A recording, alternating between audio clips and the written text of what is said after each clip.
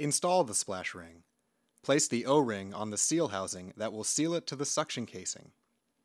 Reinstall the stationary face from the mechanical seal. The stationary face has a groove in it that fits into a pin in the seal housing to prevent the stationary face from rotating. Use P80 rubber lubricant to lubricate all O-rings before you insert them.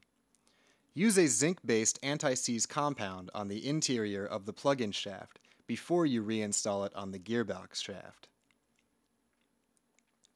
Place the stationary seal housing with the stationary seal face into the lantern.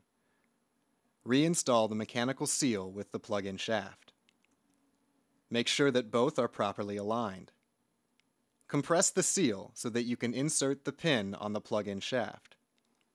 Once it is inserted, push it in all the way and slide the splash ring over the plug-in shaft pin.